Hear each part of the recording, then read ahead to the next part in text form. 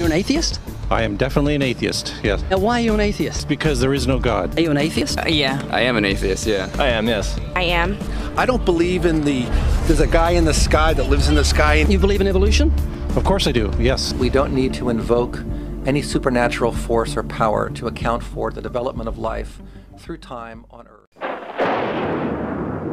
You know, the, the problem with those who are unable to see evolution, I think, is they don't have imaginations. Do you think it's a belief? I think it's just fact. Think more like facts. There is too much evidence to ignore. Do you think it's a belief? No, it's science. It's the way it happened. It's logical. You know, all the scientists pretty much agree with it. It's, it's more of a fact. When did you start to believe?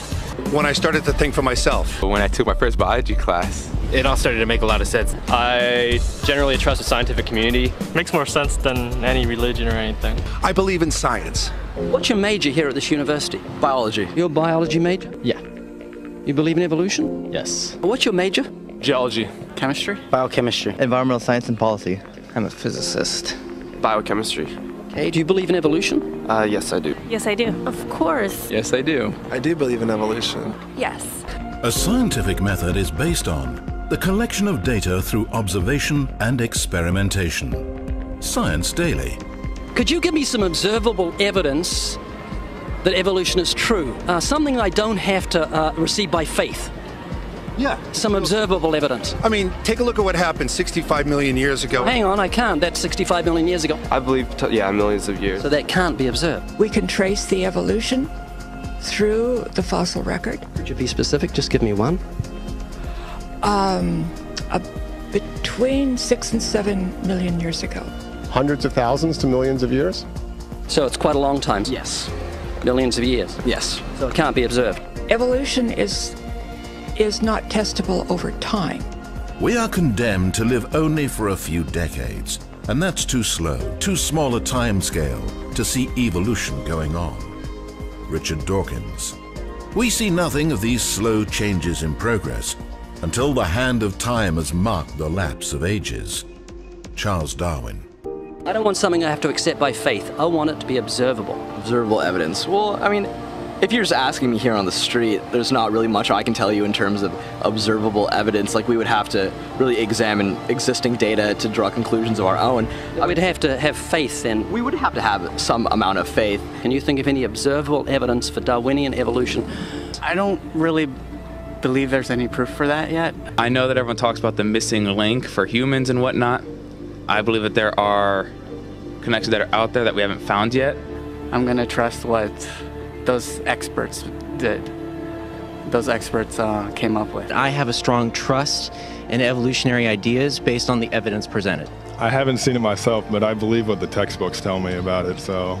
You've got faith in the expert? I have faith in the experts, yeah. I guess similar to how religious people have faith that God actually exists, I have faith in the experts knowing what they're talking about. I would point to, as one great example, is look at the genetics of the stickleback. What's that? Uh, so, stickleback fish are a very interesting collection of species that were recently isolated after the end of the Ice Age. What do they become? They're, they're various species of sticklebacks. They stayed as fish. Well, of course. Can you think of any observable evidence where there was a change of kinds? Fish. Human beings are still fish. Human beings are fish? Why, yes, of course they are. How long did that take? A couple billions of years, millions. A couple of millions? How is that observable? It's not. We came out of the ground as a mammal, and one mammal created. Come out of the ground? Didn't we come out of the sea? Huh? Well, initially in the beginning, we came out of the ground and the sea after the great destruction of the. the So, did we have lungs or gills when we came out of the sea? You want to know something? Those that were in the sea, I guess, had gills, and those that were on land had lungs. But if we came out of the sea, we had gills in the sea. You want to know something? Who knows that when we came out of the sea or we came out, we evolved from mammals? So you don't know? Huh? Of course I don't know. I'm accepting that they did their science correctly. Do you give me an example of Darwinian evolution, not adaptation or speciation, but a change of kinds? These are changes of kinds. They're still fish. They're distinctly different fish. We have thousands of examples. Give me, can you give me one? I can give you. I can give you thousands. Just one. For instance, I would say uh, look at Lenski's experiments with bacteria. Then, So what do the bacteria become? The bacteria are still bacteria, of course. That's not Darwinian evolution. That's not a change of kinds, is it? It, it is a change. It is a change in the genetic makeup of the bacteria, which They're is still bacteria. So what do the bacteria become? Uh, a new kind of bacterium. So it's still bacteria. There's no change of kinds. You said before that there, are, there is lots of evidence for evolution. I just want one observable evidence for Darwinian evolution. No. Just one. But I gave you some. You don't want. Not some, I want one. Wait, you don't want that. I want one. Yes, I do. I'm pleading with you people. Said, you asked me to tell you. You asked me to tell you when I've watched one species evolve into another. Isn't that right? No, one kind into another. There's 14, is it 14 different definitions of species? So I want a change of kind. So could you give me any examples of Darwinian evolution? Well, uh, when you say examples of that, then you have to sort of look at over a longer time frame. It has nothing to do with faith. Faith is something that I have to, unseen, I have to believe in. That's it, unseen. Look, do you believe evolution? Of course I do. Are you a believer in evolution? Yes, I am. When did you start to believe evolution? I started to believe evolution when I started to think out for myself. Is evolution a belief? Evolu- evo- well, you know something. Evolution is a is a thought process. This is coming to terms and and, and checking out all the alterna- all the alternatives, like uh, taking a look at the the religion, man-made religions. Let me ask you again: Is evolution a belief? No, evolution is well, yeah. In a, in a word, yeah, I could say it, it could be a belief. When you say change of kinds, you mean the evolution of one species from another or to another? Yes, we have that in action actually in the Galapagos. Could you give me one instance? Yes, we have an example from a group of birds called Darwin's finches. You take a look at the difference between the finches on the islands that all started out. I mean, that's very, very observable. But that's not Darwinian evolution. There's been no change of kinds. What did the finches become? They become genetically new and anatomically new, recognizably different species. So they're still finches? Well, of course, they're still finches. Yes. So they're not a change of. There's no change of kind. Little birds that he uh, that he had observed. That what did they become? Um, their beaks, their beak shapes. They're still birds. Yes. Three finches that turn into different types of birds based They're still finches. Well, for example, Darwin and, and his study on evolution of uh, the birds on the island that he went on to there. Their beaks changed? Their beaks. Uh, They're still birds. There's no change of kinds. That's within the kind. evolution on the beaks. That's So that's called adaptation. It's not Darwinian evolution. There's no change of kinds. There's no different animal involved. I want something that shows me Darwin's belief in a change of kinds is scientific. Darwin spoke of a change of kind. Can you think of any observable evidence for Darwinian evolution where there's a change of kind? Uh, change of kind. Change of kind. Uh, I'm gonna have to think about that one a little longer. You give me anything that I can see, observe, and test, which is a scientific method for Darwinian evolution, a change of kinds. Test and observe.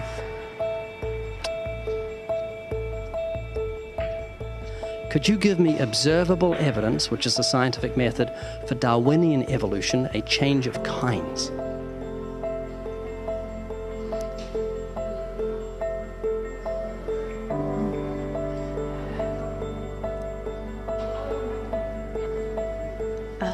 I gotta think about it. um, so you want the evidence of it? I would say.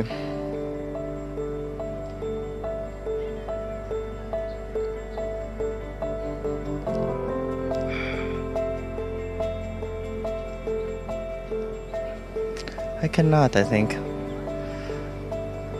Um, Could you give me any observable evidence, just one, for Darwinian evolution? Uh, let me think about that for a sec. Um, Observable evidence, something where we don't have to exercise faith. Something that can be observed, like the scientific process, observable. Hmm, that's a good question. That one I'm not quite sure. So you can't think of any observable evidence for evolution? No. How do you know it's true?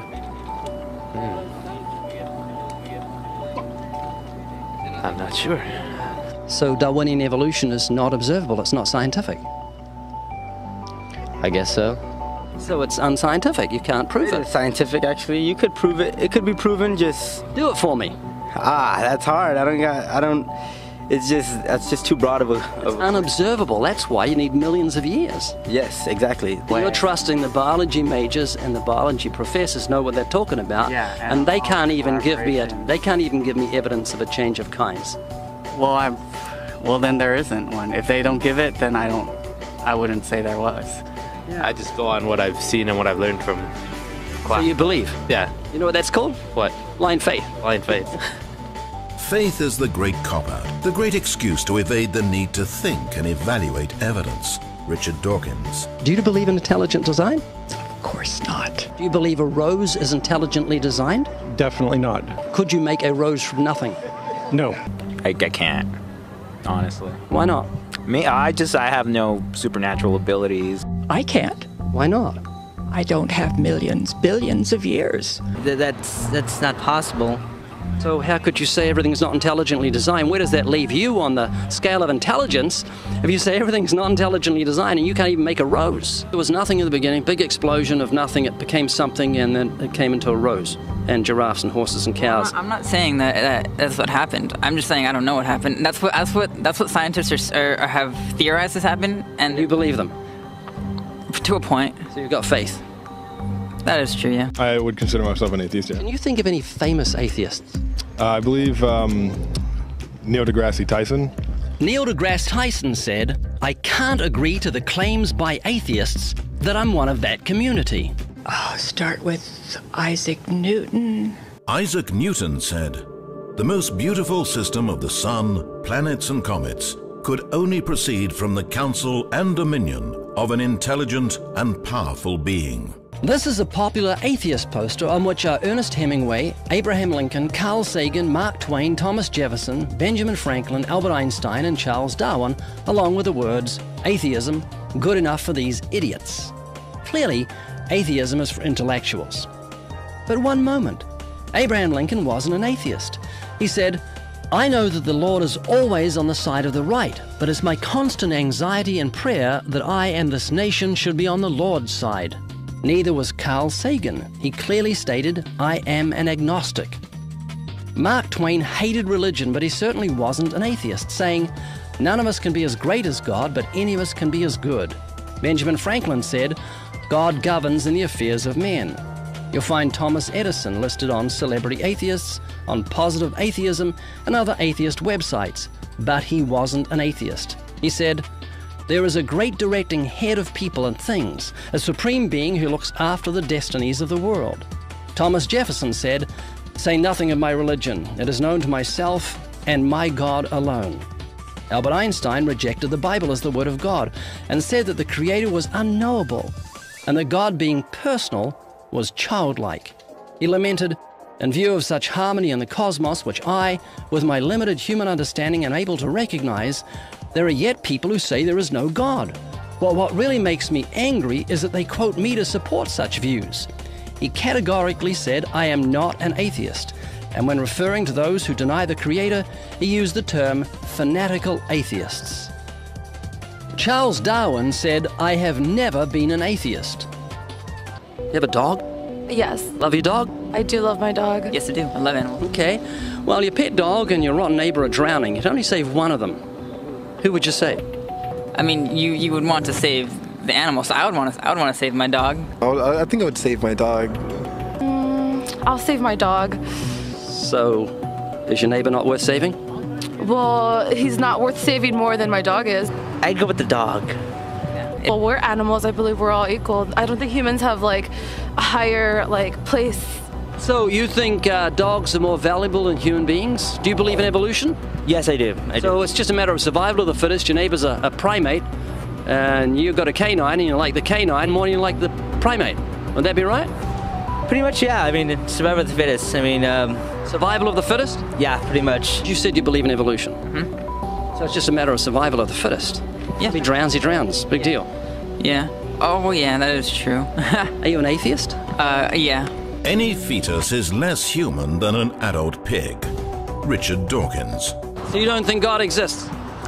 Um, more like I know. But you're a living, biological human being with a life of God in you. We are a mechanical being because we have different parts that. Is there no life in you? Yes, there's life in me. That's your soul. Okay, can you handle some questions? They're pretty pointed questions. Sure. Are you a good person? Are you going to make it to heaven? Um, I would like to think so. Do I think I'm a good person? Yeah. Are you a good person morally? Yes, I am. Do you think you're a good person? Yes. I like to believe so, yeah. How many lies have you told in your whole life? I wouldn't be able to count. I don't know if I could remember.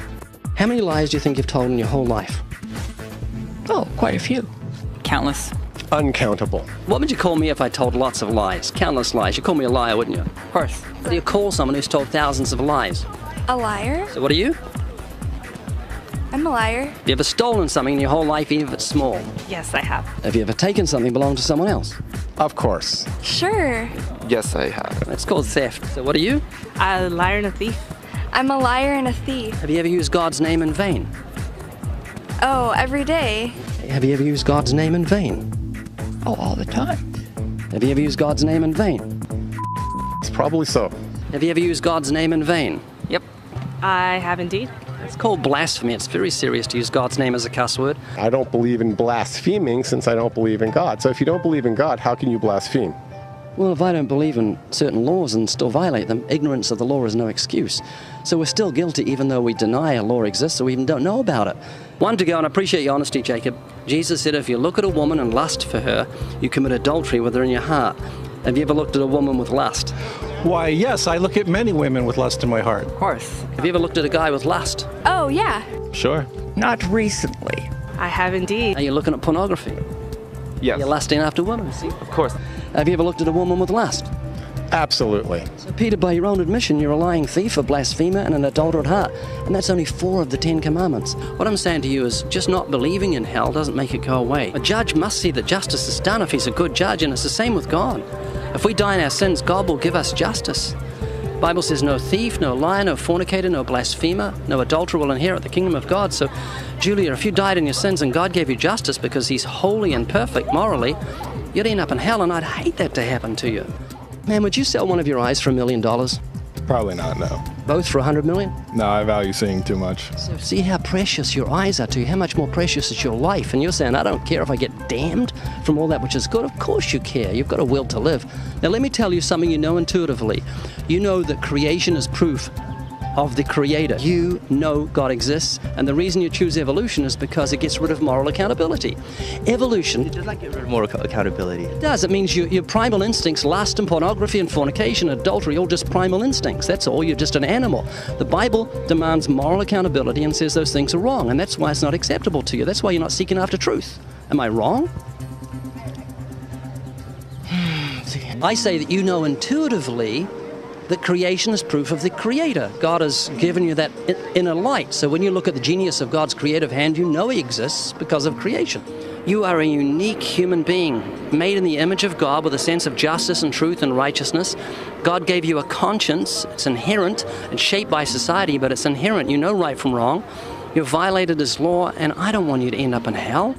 James, if you put your finger on it and see if we can, your struggle at the moment is because of your love of sin because of the pleasure that sin gives you and you don't want to give it up. You're like a man with a, a money belt filled with gold who's just fallen into the ocean. And I'm saying, if you don't get rid of that belt that weighs 80 pounds, it's going to take you under. It doesn't matter how much pleasure it gives you, it's not worth losing your life for. Gail, you're not a beast. You are a human being created by God in His image with dignity and worth and purpose. And do you know what God did for guilty sinners so we wouldn't have to go to hell? Any idea? Mm-mm. No. Well, God became a human being 2,000 years ago. Jesus of Nazareth, and he suffered and died on a cross, taking the punishment for the sin of the world. You and I violated God's law, and Jesus paid our fine. That means God can legally dismiss our case because of the suffering, death, and resurrection of the Savior. God can say you're out of here because someone paid your fine. And then what God can now do is clothe us in the righteousness of Christ. So on Judgment Day, you're saved from God's wrath and His justice because of the death and resurrection of the Savior. If you repent and trust in Him, God will give you a righteous standing in His eyes. He'll wash away your sins in an instant. And he'll grant you the gift of everlasting life. His last words on the cross were, It is finished. In other words, the debt has been paid. He came to take our punishment upon Himself. So, because our fine was paid by another, God can legally dismiss your case. it's very hard to believe that someone would be willing to pay off the debts that's not his own. As in, Yeah, the Bible says God is love. Yes. You know, and He's kind and generous and, and merciful, and in His great kindness, He became a human being and suffered for us. Does that make sense? Makes sense, yeah. How old are you? I'm 22. When are you going to die? I have no idea. Well, God knows exactly the moment of your death. And it could be tonight, could be tomorrow. I'm not using scare tactics, this is just straight reality. 150,000 people every 24 hours die. And they're all making plans for next week, no doubt. So please think about this. Do you have a Bible at home? No. I'm not talking about a religion that says you've got to strive to get to heaven. I'm telling you, the Bible says heaven is a free gift of God. You cannot earn everlasting life. Doesn't matter how religious you are, how good you are. God commended his love toward us, and that while we yet sinners, Christ died for us. And then he rose from the dead and defeated death. And this is how the Bible puts it For by grace are you saved through faith, and that not of yourselves, it's the gift of God not of works, lest any man boast. So eternal life is a free gift of God, and it comes because of God's mercy, not because of anything we do. Make sense? yeah, makes sense. Do you have a Bible at home? Yeah, yes. I've been reading the Bible every day for more than 40 years. There's no mistakes in it, Mike. Any mistakes that we think are, are our mistakes. And you can trust God's word. I mean, think of how you trust professors and science books that tell you you're a, you're a primate. You trust and believe that. So how much more should you trust a God who cannot lie? Let me show you how fallible we are. Spell the word shop. Shop? Shop. S H O P. What do you do when you come to a green light? Stop. Green light. Oh. So we're all fallible. We make mistakes. So imagine if you're making a mistake when you say this whole of creation came together because some explosion of nothing that produced everything seasons, the birds, the trees, the flowers, the sun, the moon, the stars, and the marvels of the human bodies. Are you going to think about this? Oh yeah, no, I, I think about this quite a lot. Believe me, Uh, my brother, like I said, he's a hardcore Christian. He's going to Yale Divinity School right now, so he talks to me about this all the time. So you've got to think seriously about this. Life is full of decisions. Soften your heart. Don't have so much blind faith in what science tells you and it's left you without any knowledge of what was in the beginning anyway. You haven't got a clue where you come from. You don't know what you're doing here on earth and you don't know what happens after, after you die. Peter, uh, could you be wrong about God's existence? Yes. And could you be wrong about God's existence? No. Well, then, then I think you're rather closed-minded. Well, if I said to you, um, could you be wrong about your wife's existence? You'd say, no, I know her. You'd say, don't be ridiculous. I know her and love her. And I know the Lord and I love the Lord and He transformed my life 41 years ago, instantly, overnight, forgave my sins and gave me new desires when I had no desires or thoughts of God for the whole 22 years before I was a Christian. Mike, thanks for talking to me. I appreciate it. Yeah, of course, no problem. Thank you. Peter, you've been a good sport. Thank you very much for talking to me. Okay. So you're going to think about this? Mm-hmm. I, I, I think about it a lot actually. Like I, I think about I think about death and how fragile life is and how just in a second like it, it could all be over and there'd be nothing.